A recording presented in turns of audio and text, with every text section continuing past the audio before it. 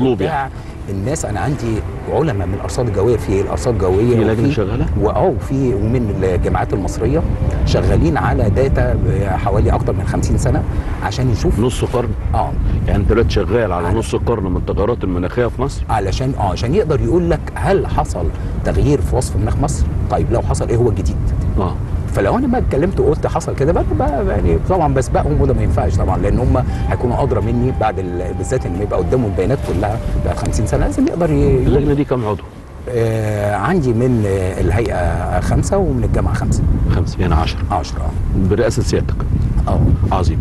قاعدين بتشتغلوا على التغيرات المناخية الراصده خلال 50 سنة. بالظبط كده عشان يقدر يو- يوصف لي في الآخر وقف مناسبه وأيضا بدايات الفصول لأني أنا من من خلال آه، من خبرتي وأنا بشتغل بجد إن إيه إن الفصول بدأت تتدخل تتغير خالص يعني آه. لما يجي مثلا أقول الصيف آه 21 يونيو أبص ألاقي قبليه بأسبوعين ثلاثة بدأت نار. سماته تبان نار من الله لا. وسماته يعني إحنا كل كل سيزون أو كل فصل ليه سمات معينة وبتأثر بجهه يعني مثلا في الصيف أنا بتأثر بمناخ بمنخفض الهند الموسمي لما ألاقيه قبل ما يبدأ الصيف بحوالي أسبوعين أو أكتر شغال بدأ يجي عليا آه. آه. ده أنا بدأت صيف مظبوط آجي على مثلا آه، الخريف آه، باجي منخفض السودان الموسمي اللي بيعمل لي السيول المفروض إن أنا أبدأ في 22 سبتمبر ألاقي قبليه بأسبوعين ثلاثة بدأ يعلى. والأمطار تنزل آه. كتير وسيول فقلت لهم لأ إحنا نقف بقى هنا ونشوف هل ال- الموضوع ده حصل في تغيير ولا لا. طب ال- الوصف الأول شكله إيه؟ وبدايه الفصول اتغيرت ولا ما اتغيرتش؟ فطبعا هم طبعا آه، دي شغلتهم وهيقدروا في الآخر يقولوا لي آه، آه، وصف مناخ مصر الجديد إيه؟ زي على فكرة الكلام ده كله بيتعمل حاليا في العالم كله بدأ يعمل الكلام ده كل واحد بدأوا التغيرات المناخيه خلتهم يفكروا كلهم يفكر في وصف المناخ بتاع بلده إيه. هل هو مستمر على الزمان اللي هم واخدين عليه ولا اتغير؟ فالكل بدأ.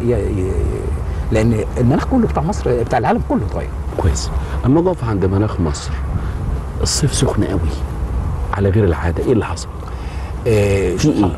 شوف حضرتك. ولا أنا ولا مشاعري مش لا؟ لا دي حقيقة دي حقيقة فعلا. إن إحنا آه، بدأنا آه، آه، إن كانت الحرارة ما عليتش قوي بس نسب الرطوبة عليت قوي. آه. وهنا المشكلة لأن الرطوبة هي اللي بتديك إحساس بحرارة أكتر. فبدأنا يعني تحس إن أنت بقيت آه، شبه مناخ الخليج. بس بيفرق بقى إن الحرارة عندي بتعلاش قوي زي الخليج. يعني الخليج دلوقتي وصل 45 و46 و47 أنا عندي أقصى الأسبوع ده أقصى حاجة أو في الصيف ده لحد دلوقتي أقصى حاجة 40 اللي هو يوم اللي هو النهارده الجمعة. آه، اللي هو يوم الجمعة. وقبل آه. كده جت مرة آه. مع بداية الصيف. آه. آه، لكن بس نسب الرطوبة بقى إحنا ما عديناش ال 40 لا لا لا. امال إيه الكلام؟ بتاع 48 وإلحق ده بقت 50 وده أنا بقراها على مؤشر العداد بتاع العربية كذا وإلحق ده الموبايل مسجل لي رقم كذا. إيه ده؟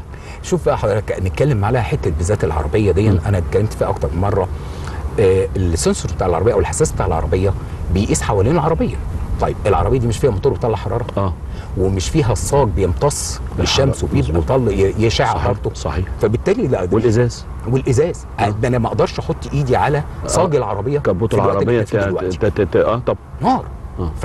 فكل دون فبالتالي هو بيقيس حوالين العربية العربية حواليها عالي جدا. مم. فما لكن أنا بقيس درجة حرارة الهواء. زي ما شفتوا دخلنا الكشك والحاجات جوه دي وفقا تعليمات المنظمة العالمية للأرصاد الجوية يعني الأكشاك ديت دي موديل عالمي. عالمي.